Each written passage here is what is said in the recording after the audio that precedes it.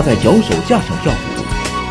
我是一名农民工，最大的爱好就是在工地上健身。我很享受每一次汗流浃背时的快感。拥有百万粉丝，却依旧为生活而奋斗。上个月就三十天，你抽出了六天，就感觉赚钱太不容易了。搬砖小伟即将为您讲述。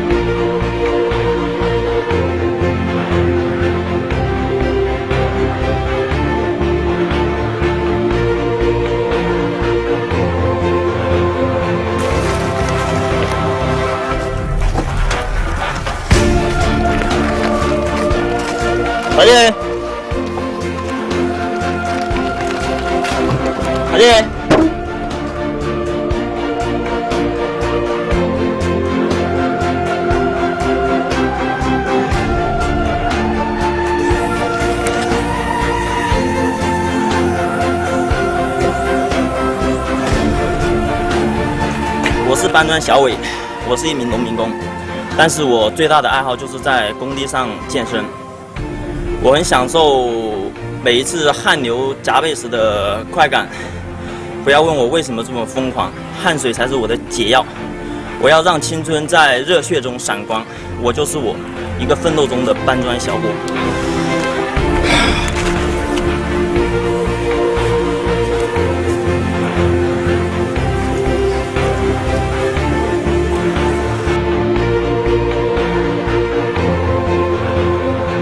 地上的钢管架、推砖车等建筑材料，都是搬砖小伟的健身器材。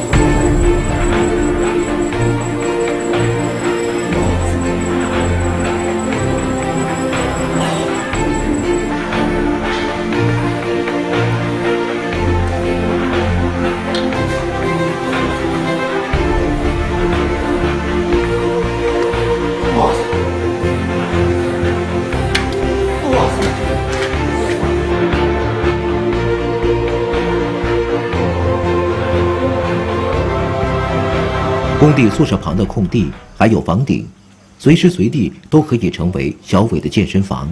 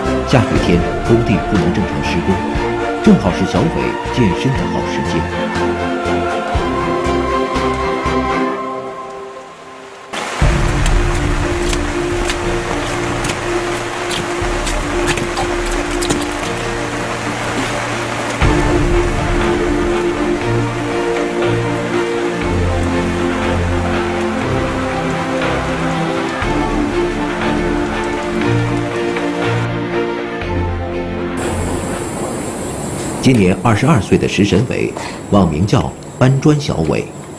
他在工地上健身的视频上传网络后，目前受到一百三十多万人的关注。一五年上半年就是这个工地，我就是在这个工地第一次上的热门，就是干的那个打脸。当时里面都是架子，第一个动作就是在架子里面做了两个动作吧。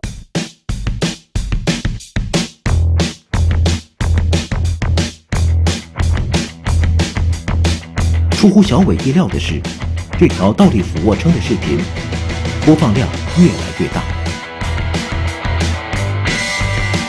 后来上了热门，之后就持续上热门，就粉丝越来越多，关注越来越多。当时就是纯粹的是一种记录，纯粹的就是见证自己进步的一个过程。因为当时就感觉这上热门不可能呢、太难了。晚上睡觉的时候会经常看那个快手粉丝加了多少，比较激动。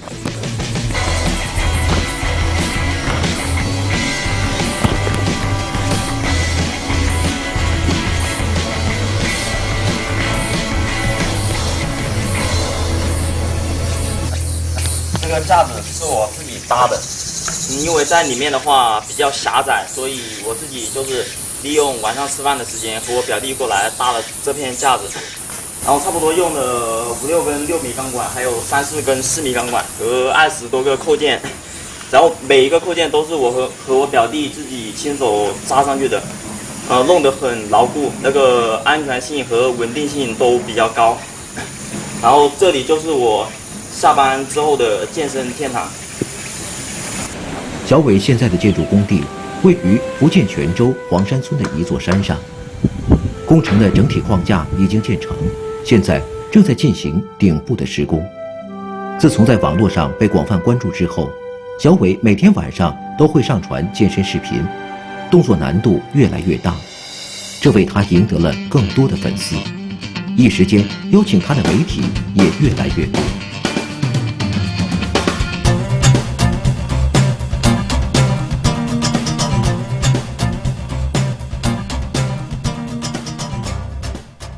没想考虑到这是有这么现在有这么专业，那真不知道。我是今年开始知道。这一天，小伟接到了地方电视台录制节目的邀请，要他到电视台的演播室现场去表演健身技巧。有个编导就跟我打了电话参加节目，后来他就直接跟我订票了。当时其实他跟我说这件事的时候，我内心还是很难抉择的，因为第一个我感觉我练自己练的也不是挺好，第二个的话我跟空头请假，你请假的那几天都没有钱嘛。那绝对是影响我的。嗯，你在像我正月的时候他走了了，你比方说，那这几天天气好，我必须把这几天那个生活赶出来。最需要他的时候，要不要到电视台去参加节目录制呢？搬砖小伟继续为您讲述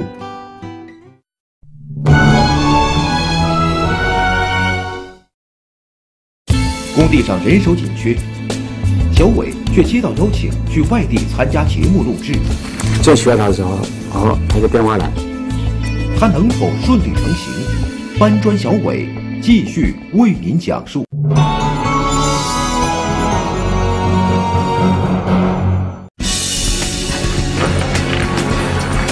他在脚手架上跳舞。我是一名农民工，最大的爱好就是在工地上健身。我很享受每一次汗流浃背时的快感。拥有百万粉丝，却依旧为生活而奋斗。上个月就三十天，你抽出了六天，就感觉赚钱太不容易了。搬砖小伟继续为讲述。小伟来自湖北大冶市龙角山村，这个村的村民多以外出修建仿古建筑为业。小伟的工头是他的大伯，也是家族里在外修建仿古建筑的带头人。对我影响最大的人是工头，我的伯伯。因为从刚开始干活的时候，他就对我非常严厉。按道理说，干活的时候不存在长辈关系，我们就存在就是什么呢？就是一个工头和一个工人的关系。直到现在，也是对我干活。各种各方面都要求很苛刻。做手艺的时候，有时候不听话，我经常打他嘞，还骂他。经常教育我干活的话，一定要不要怕吃亏，不要说什么脏活累活啊，都让别人干什么的。小伟的父母多年来一直在开封打工。从小学开始，他一年最多能见到父母两三次。他和姐姐成了留守儿童，由奶奶看管。当时主要的就是非常喜欢上网，非常喜欢玩游戏，然后也不怎么爱学习，就是跟那些每个学校都有几个混的嘛，跟他们一起，嗯，比如说去厕所里面抽烟啊，我不抽，不过我非常喜欢跟他们一起玩。当时回去之后就会问奶奶要要钱嘛，什么物理试卷费呀、化学试卷费呀，三十五十的要，其实都是没有交的，都是 都是问奶奶骗的钱。他拿那个钱就就上网了，肯定是这样他骗了我了，我也不知道是吧？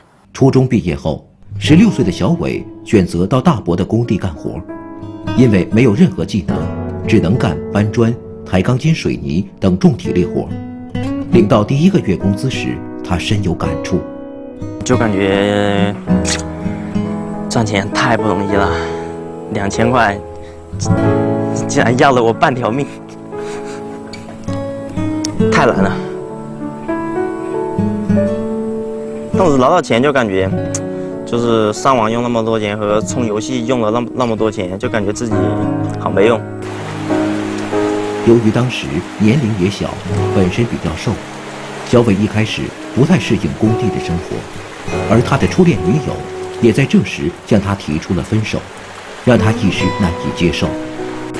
我当时有一种想自杀的想法都有，就感觉活着非常没意思。跟我女朋友分手之后吧，一二年下半年，我就感觉哎没有寄托了。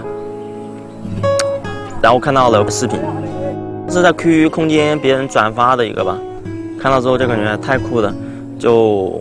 我就想，我也要练成这样，那可以说是一个萌芽。然后就自己买了哑铃，在工地上每天瞎练，不过也打造了一点基础。我当时就是，这是我第一个看的视频，我和摄影师一起看的。当时看到他们做这个引体向上做了十七个，我就特别羡慕。后来他们在做了一个叫做双立臂的动作，我我就想，如果在钢管架上面，我能一下从下面拉到上面，我干活的效率会提高很多。后来我就第二天就开始实施了，每天在钢管架下面有空的时候就拉引体向上。比如说来了一车砖，我卸完了，然后可以休息一下时间，我就会去练几下。现在看起来还热血沸腾，手心冒汗了。这个健身视频给小伟的打工生活带来了改变。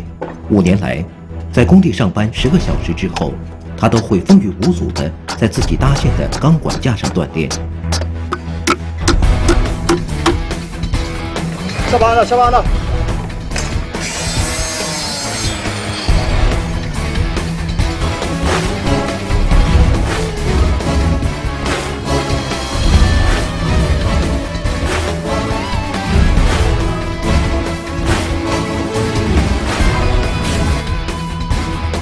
下午下班的时候，在训练一个动作的时候，因为这个单杠它都是铁锈，然后摩擦力很大，把这个手上的茧都弄掉了一块。现在要把它扯掉，不然它经常摩擦的话会很痛。其实这个爆茧都是水，呃，很常见的事情。我前些日子这这个茧就是一个月之前破的，然后这个是十五天破的，现在都好了。这这个爆茧的话，对于我们练这个健身运动是非常好的，不然手太嫩的话。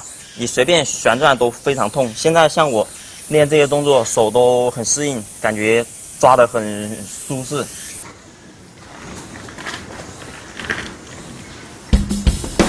小伟坚持健身的热情，还带动了身边的一个好兄弟。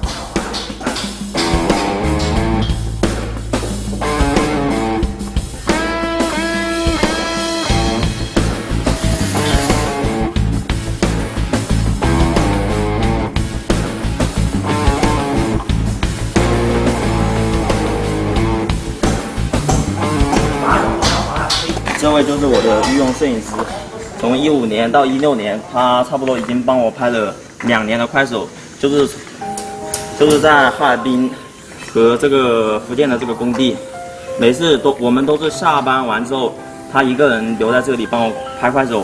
我们有时候回去的时候，饭菜都已经吃完了，所以我特别感动。每次我买的水啊或者面包，我都会分给他吃。我我们的那个感情特别好。我就是他，是在我现实生活中我唯一的一个好兄弟。发的那些炫酷的视频，还有上热门的视频，都是我的御用摄影师帮我拍的。大部分只要他拍，只要经过他之手，差不多都可以上热门。因为如果我一动一块砖头在那里搁着拍的话，它画面不动，没有那种很炫酷的感觉。像他的话。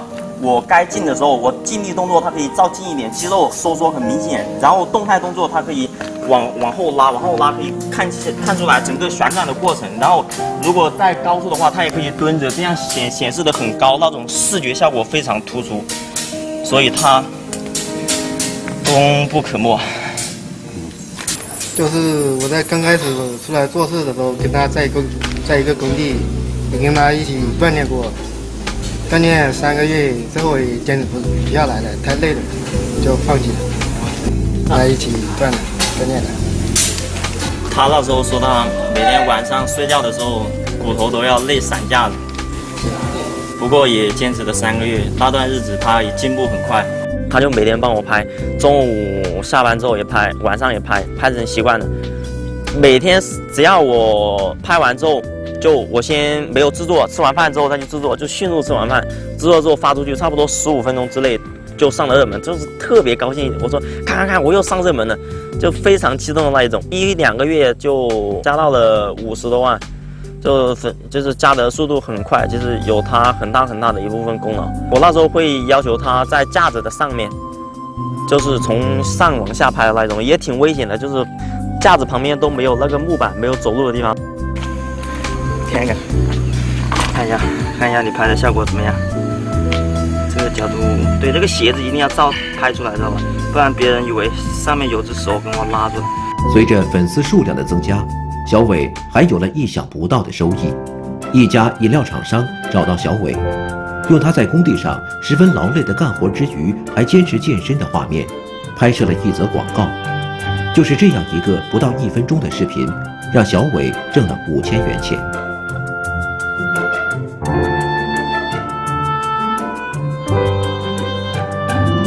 那是真的很意外，发了之后他就给我打了五千块。其实很容易，拍个视视频而已，几分钟，就感觉，唉，就感觉，唉，自己慢慢的竟然能够，原来从来都没有想过，原来就感觉自己可能跟家乡的人一样，每天就是干活啊，为了钱操心啊，就是很平淡、很平庸、很平凡的那一种。没想到自己能接这种比较好的那种广告。怎么说呢？可以说是就更加坚定了自己一定要在健身这条道路上走下去的决心。他做这个事情也是一种好事吧，可以说这种正道，那个正能量吧，拦不住他。就这回其实我心里不想他去，但是没办法，我去吧。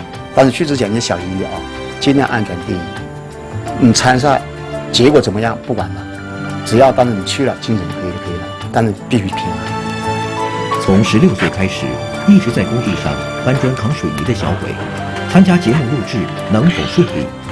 请继续关注搬砖小伟。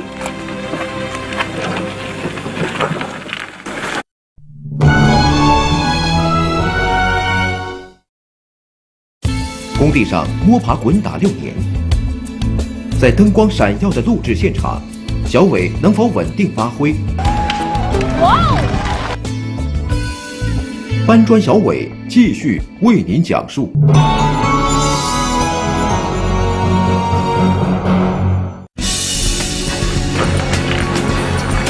他在脚手架上跳舞，我是一名农民工，最大的爱好就是在工地上健身。我很享受每一次汗流浃背时的快感。拥有百万粉丝，却依旧为生活而奋斗。上个月就三十天，你抽出了六天，就感觉赚钱太不容易了。搬砖小伟继续为您讲述。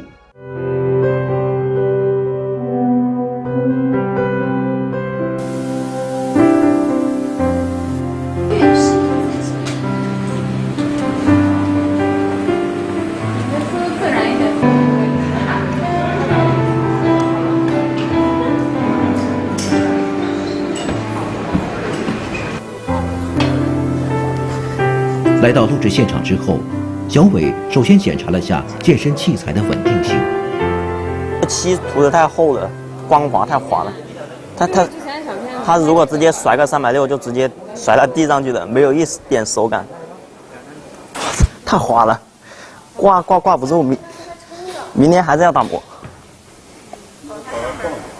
太滑了，嗯，就是第一个就是需要一个打磨机嘛，就是那种用手这样磨的那个打磨机，就是叫角磨机。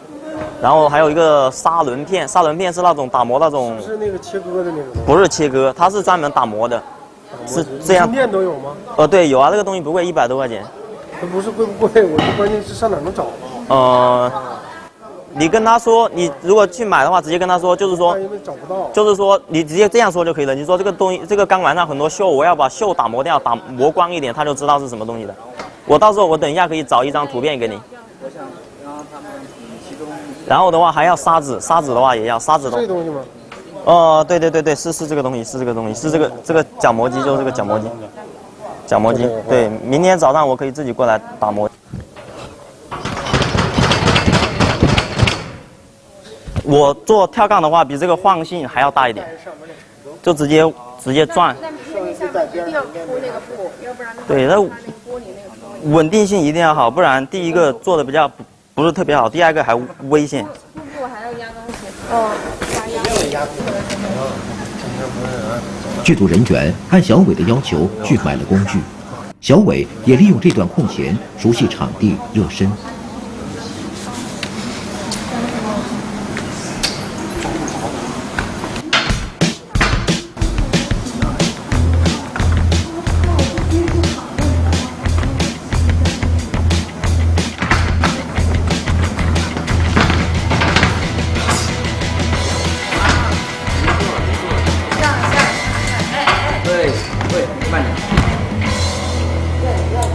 然后还有一个重很重要的话，就是这个脚，这个脚我刚刚在那个舞台看了一下，它那边是那种玻璃的地板，玻璃的地板的话，这个脚没法固定，它就是打膨胀螺丝下去的话，它也会晃，因为它没有受力点，没有受力点，我做，特别是对我做那种跳杠动作，需要它的稳定性非常好，如果它的稳定性不好，我做那个单杠大回环的时候就会被甩飞。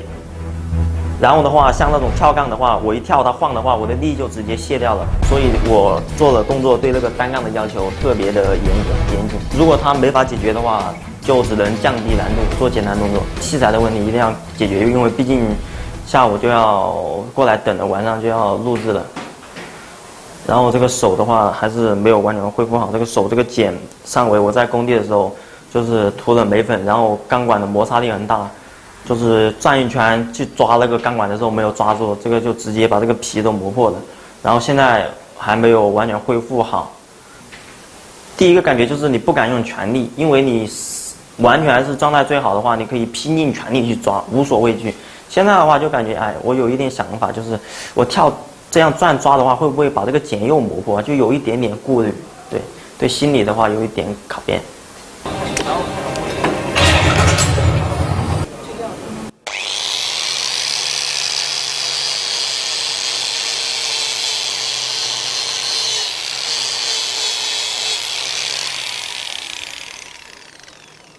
这样不行，这样越打越滑，这个片子不能用。这个工具已经买回来了，不过它这个打磨片的话买错了，它说这个打磨片上上去，这里的话就会越打越光滑，就是很抛光这种感觉。这样的话手感的话还不如那个油漆好一点，所以现在就让他再买了另外的打磨片，重新再打磨一下。由于不熟悉健身器材，打磨工具也暂时没有到位，有些着急的小伟催促着编导。你问一下他那个砂轮片到哪里了？我们这边很急啊！我打磨最早要弄两一两个小时啊，打磨之后还要用砂子。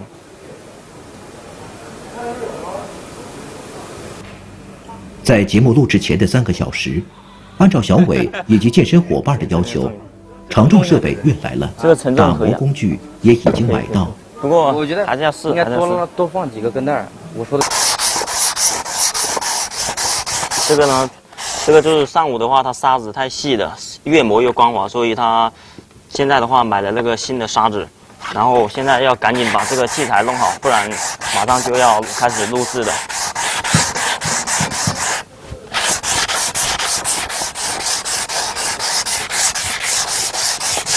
到时候器材做好之后，我还要把那个沉重的东西压住之后，我还要去尝试，因为到现在为止要做的动作都没有尝试过一遍。心里还特别没有底。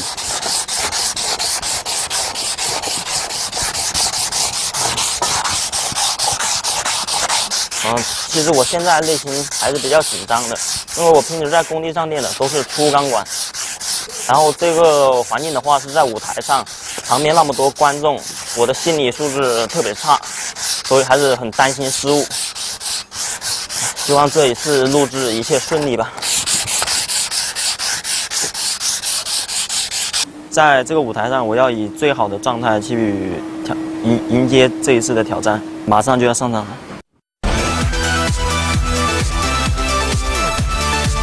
玩！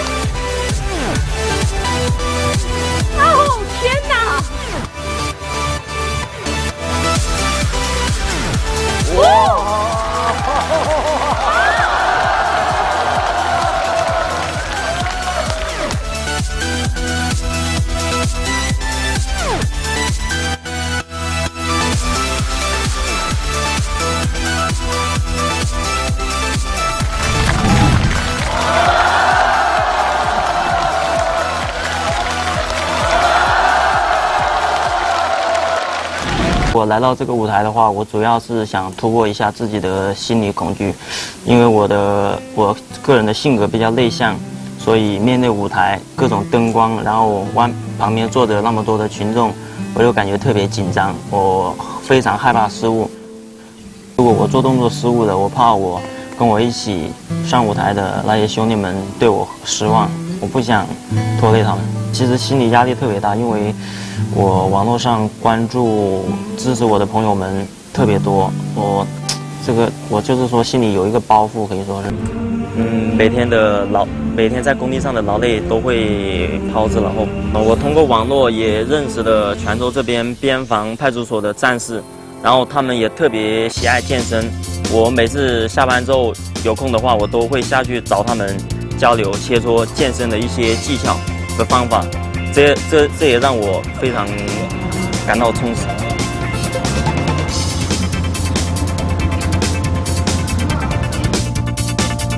从沉迷于网络的留守少年，到如今拥有一百三十多万粉丝的健身达人，二十二岁的小伟已经找到了人生的乐趣和发展方向。